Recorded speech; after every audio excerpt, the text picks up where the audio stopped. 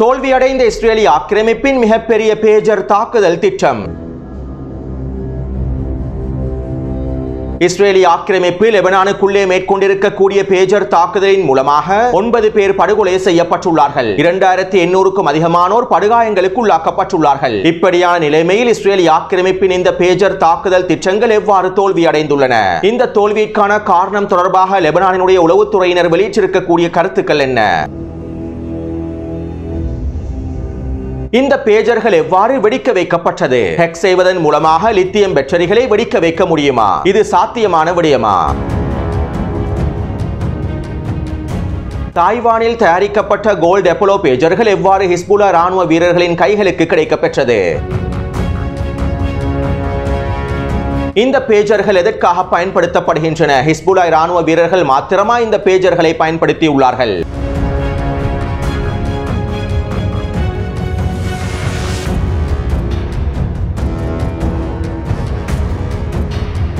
Lebanon நேரப்படி நேற்று மாலை இஸ்ரேலிய ஆக்கிரமிப்பு லெபனானுக்குள்ளே மிகப்பெரிய தாக்குதல் ஒன்றை மேற்கொண்டிருந்தது. பேஜர்களை வெடிக்கச் செய்வதன் மூலமாகவே இஸ்ரேலிய ஆக்கிரமிப்பு இந்த தாக்குதலை லெபனான் முழுவதும் மேற்கொண்டிருந்தது. அத்தோடு இந்த பேஜர் தாக்குதல் தொடர்பாக நேற்றிரவு நான் வெளியிட்ட காணொலியில் ஏன் எந்த விதமான தகவல்களையும் வெளியிடவில்லை குறிப்பிடவில்லை என பல நண்பர்கள் கேள்விகளை எழுப்பியிருந்தார்கள். நான் வழக்கமாக எந்த ஒரு செய்தியாக இருந்தாலும் அவசரமாக பதிவிட மாட்டேன். அதிலும் குறிப்பாக இவ்வாறு விரிவாக்கத்தை ஏற்படுத்தக்கூடிய தாக்குதல்கள் தொடர்பான செய்திகளாக இருந்தால் அவற்றினை நான் விவரமாக பதிவிட மாட்டேன். ஒரு சம்பவம் நடைபெறும் சந்தர்ப்பத்தில் விரிவாக்க தாக்குதல்கள் மேற்கொள்ளப்படும் சந்தர்ப்பத்தில் குறித்த சம்பவம் தொடர்பாக தாக்குதல் தொடர்பாக ஆய்வுகளை மேற்கொண்டு அவை தொடர்பான உறுதிப்படுத்தப்பட்ட தகவல்கள் வெளியானதற்கு பின்புதான் அவற்றினை நான் செய்திகளாக பதிவிடுவேன். எப்போதும் அவசரமாக பதிவிடக்கூடிய செய்திகளில் உறுதிப்படுத்தப்பட்ட தகவல்களை எங்களால் வழங்க முடியாது. எனவே இவற்றினை தவிர்த்து கொள்வதற்காகத்தான் நான் செய்திகளை ஆராய்ந்ததற்கு பின்பே உறுதிப்படுத்தப்பட்டதற்கு பின்பே வெளியிடுகின்றேன். என்னுடைய இந்த ஊடகத்தினுடைய பார்வையாளர்கள் அவசரமாக செய்திகளை பெற்றுக் கொள்வதனை விட உறுதிப்படுத்தப்பட்ட உண்மையான செய்திகளை பெற்றுக் கொள்வதனையே நான் விரும்புகின்றேன். எனவே என்னுடைய நிலைப்பாட்டினை நீங்கள் புரிந்து கொண்டிருப்பீர்கள் என்று நான் நினைக்கின்றேன். இப்போது விடயத்திற்குள் வருவோம். இஸ்ரேலிய ஆக்கிரமிப்பின படுகொலை பயங்கரவாத இராணுவம் இந்த பேஜர்களை வெடிக்கச் செய்வதன் மூலமாக லெபனான் முழுவதும் முக்கியமான தாக்குதல் ஒன்றை மேற்கொண்டிருந்தது.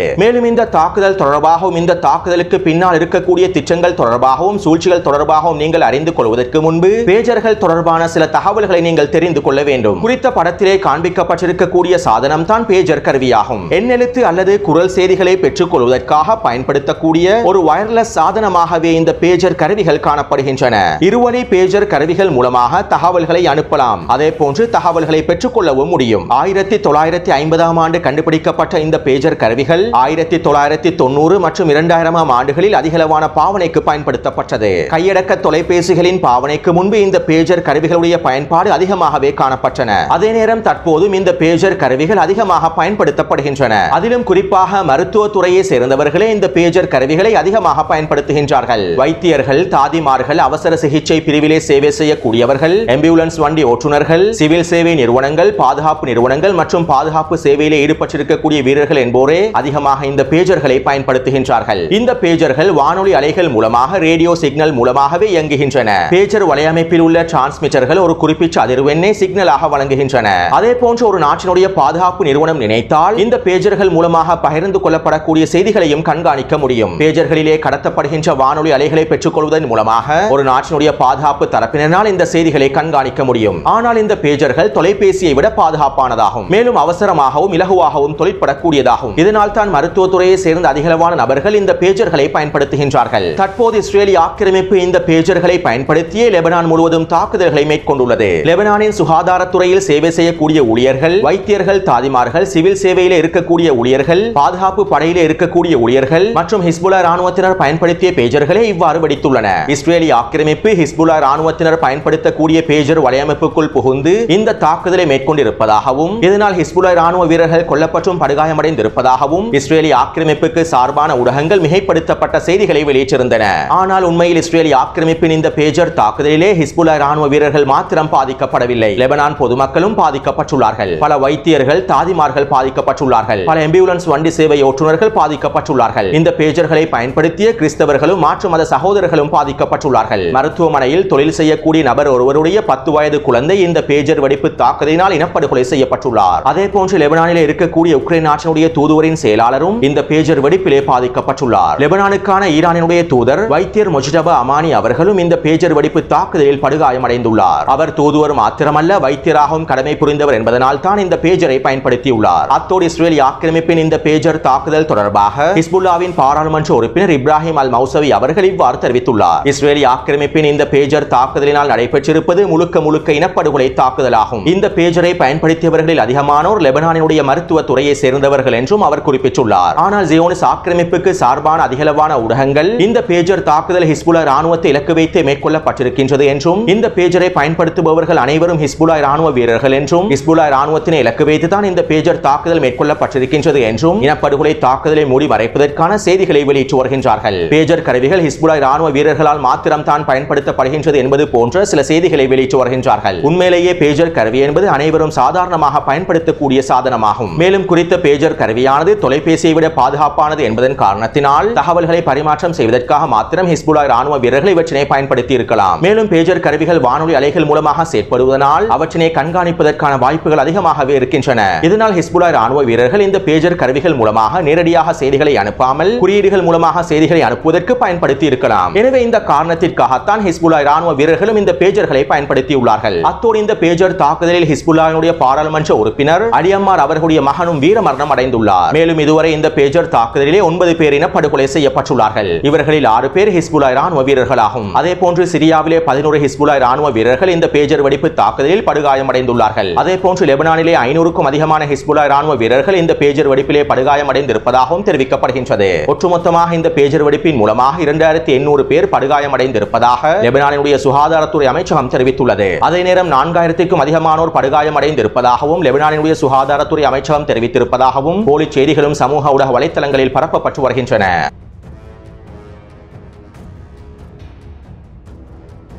இந்த பேஜர்களுடைய பேட்டரிகள் எவ்வாறு வெடித்தன? அனைத்து பேஜர்களும் எவ்வாறு ஒரே நேரத்தில் வெடிக்க செய்யப்பட்டன என்கின்ற கேள்விகள் எழுப்பப்படுகின்றன. பேஜர் கருவிகளை ஹெக் செய்து அதனுடைய மென்பொருளை பயன்படுத்தி பேட்டரியின் வெப்பநிலையை அதிகரிக்க செய்து அதனை வெடிக்க செய்ய முடியுமாக இருந்தால் நாங்கள் ஒவ்வொருவரும் பயன்படுத்தக்கூடிய தொலைபேசிகளையும் வெடிக்க செய்யலாம். பேஜர் கருவிகளில் பயன்படுத்தப்படும் லித்தியத்தினாலான பேட்டரிகளை தான் நாங்கள் பயன்படுத்தக்கூடிய தொலைபேசிகளின் பேட்டரிகளிலும் பயன்படுத்தப்படுகின்றன. லித்தியத்தினால் உருவாக்கப்பட்ட பேட்டரிகள் தான் பயன்படுத்தப்படுகின்றன. இவ்வாறு லித்தியம் பேட்டரிகளுடைய வெப்பநிலையை அதிகரிக்க செய்து அவற்றினை வெடிக்க செய்ய முடியுமாக இருந்தால் நாங்கள் பயன்படுத்தக்கூடிய ஒவ்வொரு தொலைபேசிகளும் அணுகுண்டை விட ஆபத்தானதாகும். ஆனால் இவ்வாறு ஹெக்ஸ் செய்து லித்தியம் பேட்டரிகளை வெடிக்க செய்வதற்கான வாய்ப்புகள் குறைவாகவே இருக்கின்றன. இருபது தொடக்கம் ஐம்பது கிராம் நிறையுடைய லித்தியம் பேட்டரியின் மூலமாக இவ்வளவு ஒரு மிகப்பெரிய வெடிப்பை ஏற்படுத்த முடியாது. இஸ்ரேலிய ஆக்கிரமிப்பு லெபனானிலே மேற்கொண்ட இந்த தாக்குதல் தொடர்பான காணொலிகளையும் புகைப்படங்களையும் நான் டெலிகிராம் சேனலில் பதிவிட்டிருந்தேன். மேலும் அல் ஜசீரா ஊடகங்கள் மூலமாகவும் ஏனைய ஆங்கில ஊடகங்கள் மூலமாகவும் இந்த தாக்குதலில் பாதிக்கப்பட்டவர்கள் தொடர்பான காணொலிகளை நீங்கள் பார்வையிட்டிருப்பீர்கள். சாதாரணமாக லித்தியம் பேட்டரி ஒன்று வெடிப்பதன் மூலமாக இவ்வளவு பெரிய தாக்கத்தினை ஏற்படுத்த முடியாது. எனவே இந்த தாக்குதலானது முழுமையாக ஹேக்கிங் செய்வதன் மூலமாகவும் லித்தியம் பேட்டரிகளை வெடிக்க செய்வதன் மூலமாகவும் மேற்கொள்ளப்பட்ட தாக்குதல் அல்ல. இந்த பேஜர்கள் பயன்பாட்டிற்கு வருவதற்கு முன்பே இந்த பேஜர்களில் வெடிமருந்துகள் பொருத்தப்பட்டுள்ளன. உலகிலேயே சக்தி வாய்ந்த வெடிபொருளான பிஇடிஎன் வெடிபொருளினை இந்த பேஜர் பேட்டரிகளில் இணைத்துள்ளார்கள். தற்போது வரை கிடைக்கப்பெற்றிருக்கக்கூடிய விசாரணை அறிக்கைகளுக்கு அமைவாக பிஇடிஎன் வெடிமருந்தினுடைய இருபது கிராம்களை இணைத்துள்ளார்கள். அத்தோடு இந்த பிஇடிஎன் வெடிபொருளானது மின்னழுத்தம் உயரும் போதும் வெப்பநிலை உயரும் போதும் போதும் உராய்வுகள் ஏற்படும் போதும் வெடிக்கக்கூடியதாகும். எனவே இந்த பேஜர்கள் லெபனானுக்குள்ளே நுழைவதற்கு முன்பே இதனுடைய பேட்டரிகளுடன் பிஇடிஎன் வெடிமருந்துகளுடைய இருபது கிராம்கள் முழுமையாக பொருத்தப்பட்டுள்ளன. இவ்வாறு இந்த பேஜர்கள் லெபனானுக்குள்ளே நுழைவதற்கு முன்பு இந்த பேஜர் பேட்டரிகளில் வெடிமருந்துகளை பொருத்துவதற்கான மூன்று வாய்ப்புகள் காணப்படுகின்றன. ஒன்று இந்த பேஜரை உற்பத்தி செய்த நிறுவனம் மொசாடுக்கு முழுமையான ஒத்துழைப்பை வழங்கி இருக்க வேண்டும். அல்லது லெபனானுக்குள்ளே இந்த பேஜர்களை கொண்டு வந்த சரக்கு கப்பல்களையும் அதனுடைய வழங்குநர்களையும் மொசாட் தரப்பினர் கைப்பற்றி பேஜரின் பேட்டரிகளுடன் வெடிமருந்துகளை பொருத்தி இருக்க வேண்டும். அல்லது பேஜர்கள் அனைத்தும் ஒரே இடைத்தரகர் மூலமாக விநியோகம் செய்யப்பட்டிருக்க வேண்டும். குறித்த இடைத்தரகர் மொசாடினுடைய உளவாளியாகவும் இருக்க வேண்டும். எனவே இந்த மூன்று காரணங்கள் மூலமாகவே லெபனானுக்குள்ளே வெடிமருந்துகள் பொருத்தப்பட்ட இந்த பேஜர் கருவிகள் கொண்டு செல்லப்பட்டுள்ளன. இதிலும் குறிப்பாக இரண்டாவது மற்றும் மூன்றாவது காரணங்கள் அதிகளவான சாத்தியக்கூறுகளை கொண்டுள்ளன. அதாவது ஐந்து மாதங்களுக்கு முன்பே இந்த புதிய பேஜர் கருவிகள் லெபனானுக்குள் கொண்டு வரப்பட்டுள்ளன. கிட்டத்தட்ட ஐயாயிரத்திற்கும் அதிகமான பேஜர் கருவிகள் கொண்டு வரப்பட்டுள்ளன. தாய்வான் நிறுவனமான கோல்டு அப்போலோ நிறுவனத்துடைய பேஜர் கருவிகளே இவ்வாறு கொண்டு வரப்பட்டுள்ளன. சரக்கு கப்பல்கள் மூலமாகவே லெபனானுக்குள் நுழைந்துள்ளன. தெரிவித்துள்ளன ஆரம்பத்தில் வெடித்திருக்கக்கூடிய அனைத்து பேஜர்களும் மொட்டரோலா நிறுவனத்துக்கு சொந்தமான பேஜர்கள் தான் என்றும் செய்திகள் வெளியாக இருந்தன. ஆனால் உண்மையில் மொட்டரோலா நிறுவனத்திற்கு சொந்தமான பேஜர்கள் வெடிக்கவில்லை. மேலும் ஹிஸ்புல்லா ராணுவத்தினர் மொட்டரோலா நிறுவனத்துடைய கருவிகளை பயன்படுத்தவும் மாட்டார்கள். ஏனென்றால் மொட்டரோலா நிறுவனமானது இஸ்ரேலி ஆக்கிரமிப்புடன் நெருங்கிய தொடர்புகளை கொண்டிருக்கக்கூடிய நிறுவனமாகும். இஸ்ரேலி ஆக்கிரமிப்பு ராணுவத்தில் பயன்படுத்தக்கூடிய அதிகளவான தொழில்நுட்ப கருவிகள் மொட்டரோலா நிறுவனத்திற்கு சொந்தமான கருவிகளாகும். இதனால் ஒரு பொழுதும் மொட்டரோலா நிறுவனத்தினுடைய கருவிகளை ஹிஸ்புல்லா ராணுவத்தினர் பயன்படுத்தவே மாட்டார்கள். தற்போது வெடித்திருக்கக்கூடிய பேஜர்கள் கோல்ட் அப்போலோ நிறுவனத்திற்கு சொந்தமானதாகும். எனவே இந்த செய்திகள் வெளியானதை தொடர்ந்து கோல்ட் அப்போலோ பேஜர் நிறுவனத்தினுடைய உரிமையாளர் இவ்வாறு தெரிவித்துள்ளார். இந்த பேஜர் கருவிகள் தாய்வானில் தயாரிக்கப்பட்ட பேஜர் கருவிகள் அல்ல.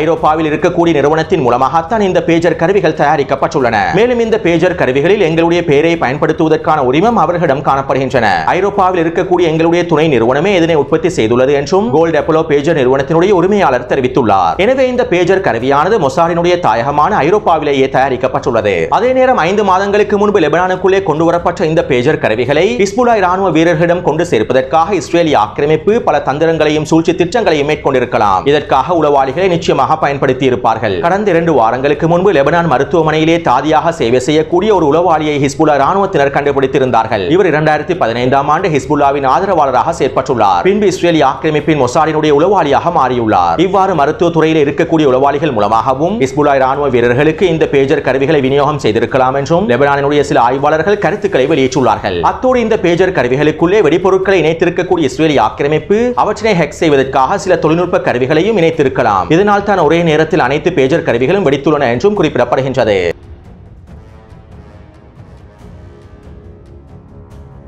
இந்த பேஜர் தாக்குதல் மூலமாக இஸ்ரேலிய ஆக்கிரமிப்பு அதனுடைய திட்டங்களில் வெற்றி பெற்றுள்ளதா என்கின்ற கேள்விகளுக்கு இல்லை என்கின்ற பதில்களே கிடைக்க பெற்றுள்ளன அதாவது இஸ்ரேலிய ஆக்கிரமிப்பு இந்த பேஜர் தாக்குதலின் மூலமாக அவர்களுடைய முழுமையான வெற்றியினை பெற்றுக் கொள்ளவில்லை இஸ்ரேலிய ஆக்கிரமிப்பின் இந்த பேஜர் தாக்குதலானது தோல்வி அடைந்திருக்கக்கூடிய தாக்குதலாகும். ஏனென்றால் இஸ்ரேலிய ஆக்கிரமிப்பு வெடிமருந்துகள் பொருத்தப்பட்டிருக்கக்கூடிய இந்த பேஜர்கள் மூலமாக இஸ்புல்லா ராணுவத்தின் முக்கியமான தலைமைகளையே இலக்கு வைத்திருந்தது. ஐந்து மாதங்களுக்கு முன்பு களமிறக்கப்பட்ட புதிய பேஜர்கள் இஸ்புல்லா ராணுவத்திடம் நம்பிக்கையினை ஏற்படுத்தினால் இஸ்புல்லா ராணுவ ராணுவத்தின் தலைவர்களும் இந்த புதிய பேஜர்களை பயன்படுத்துவதற்கு ஆரம்பிப்பார்கள். இந்த சந்தர்ப்பத்தில் இலகுவாக ஹிஸ்புல்லா தலைமைகளை படுகொலை செய்து விடலாம் என்று இஸ்ரேலிய ஆக்கிரமிப்பு இந்த பேஜர் தாக்குதலுக்கு பின்னால் திட்டமிட்டிருந்தது. ஆனால் இந்த பேஜர் தாக்குதல் நடைபெறுவதற்கு இருபத்தி நான்கு மணித்தியாலங்களுக்கு முன்பு புதிதாக களமிறக்கப்பட்டிருக்கக்கூடிய பேஜர்களில் குறைபாடுகள் காணப்படுகின்றன. அவை ஹெக் செய்யப்பட்டிருக்கலாம் என ஹிஸ்புல்லா ராணுவத்தினுடைய தொழில்நுட்ப பிரிவை சேர்ந்த இரண்டு வீரர்கள் கண்டுபிடித்துள்ளார்கள். மேலும் இந்த பேஜர்களை பயன்படுத்தக்கூடிய ஒரு சில ஹிஸ்புல்லா ராணுவ வீரர்களிடமிருந்து இந்த பேஜர்களையும் பெற்றுக் கொண்டுள்ளார்கள். இதைத் தொடர்ந்து குறித்த செய்தியானது இஸ்ரேலிய ஆக்கிரமிப்பின் மொசாட் உளவு பிரிவை அடைந்துள்ளது. ஹிஸ்புல்லா ராணுவத்தினர் குறித்த பேஜர் தொடர்பாக சந்தேகங்களை எழுப்பியுள்ளார்கள். அவர்களுக்கு குறித்த பேஜர் தொடர்பாக சந்தேகம் ஏற்பட்டு விட்டது என்கின்ற உளவு தகவல் மொசாட் உளவு பிரிவை அடைந்துள்ளது. இதைத் தொடர்ந்து இஸ்ரேலிய ஆக்கிரமிப்பு அவசரமாக இந்த பேஜர்களை வெடிக்க வைத்துள்ளது.